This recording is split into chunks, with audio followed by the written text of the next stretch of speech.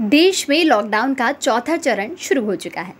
18 मई से पहले राज्यों की सरकार द्वारा लॉकडाउन चार के नियम फ़ायदे बता दिए जाएँगे। देश में लॉकडाउन का तीसरा चरण चार मई से शुरू हुआ था। वहीं पहला चरण 25 मार्च को और दूसरा चरण 15 अप्रैल से शुरू हुआ था।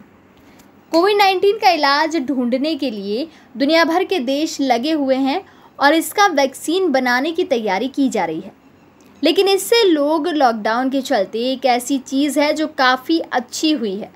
और वो है भारत का बुनियादी स्वास्थ्य ढांचा, जिससे लॉकडाउन की परिस्थिति ने मज़बूत बनाने का मौका दिया।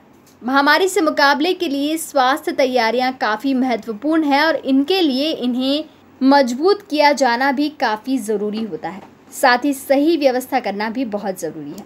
हम आपको बताते हैं कि हमारी तैयारियाँ कैसे स्तर पर पहुँची हैं और अब हमें आगे जाकर किस स्तर तक जाने की ज़रूरत है। पिछले दिनों हमने हमारी स्थिति को पहले से काफ़ी बेहतर किया है, लेकिन ये सिर्फ़ एक पड़ाव है जिस पर हम पहुँचे हैं। अभी हमारी मंजिल बहुत दूर है और इस मंजिल तक पहुँचना हमारी मजबूरी भी है और ज़रूरत भी।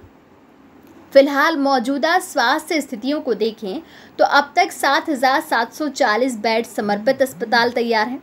छः लाख छप्पन हज़ार सात सौ उनसत्तर बेड आइसोलेशन के लिए तैयार है। नौ लाख निन्यानवे हज़ार चार सौ बानवे ऑक्सीजन सपोर्ट बेड तैयार है। वहीं चौंतीस हज़ार छहत्तर आई बेड हैं।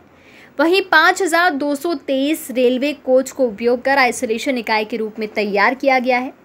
अभी तक उन्नीस हज़ार तीन सौ अंठानवे वेंटिलेटर उपलब्ध हैं और पचहत्तर हज़ार के करीब वेंटिलेटर की मांग की गई है।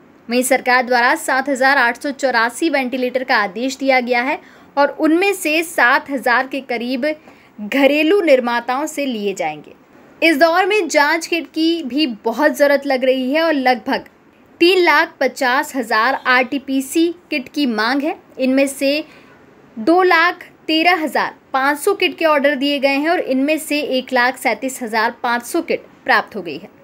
इस किट के अलावा एक और महत्वपूर्ण चीज़ है, वो है पीपीई किट, जो कि कोरोना मरीजों की सेवा में लगे डॉक्टरों नर्सेज और अन्य मेडिकल स्टाफ के साथ साथ पुलिस कर्मचारियों, सफ़ाई कर्मचारियों के लिए भी आवश्यक है, क्योंकि उन्हें कोरोना से सुरक्षित रखने के लिए इन किट की काफ़ी ज़रूरत पड़ रही है। अब तक दो करोड़ पीपीई किट की मांग की गई है। इस मांग को देखते हुए दो करोड़ से ज़्यादा किट का ऑर्डर दिया गया है और इनमें से अब तक एक लाख तिहत्तर हज़ार सात सौ किट प्राप्त हो गई है।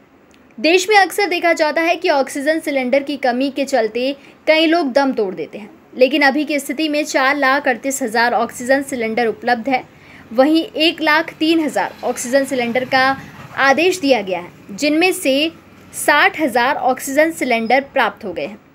ये वो कुछ आंकड़े हैं जो हमने आपके सामने रखे इसके थ्रू हम आपको देश में मौजूद स्वास्थ्य स्थिति और परिस्थिति के बारे में बताने का प्रयास कर रहे हैं। सरकार आपकी सुरक्षा का पूरा ध्यान रख रही है। इसलिए आपका भी कर्तव्य बनता है कि आप सरकार का सहयोग करें और कोरोना से जंग जीतने में सहयोगी बने।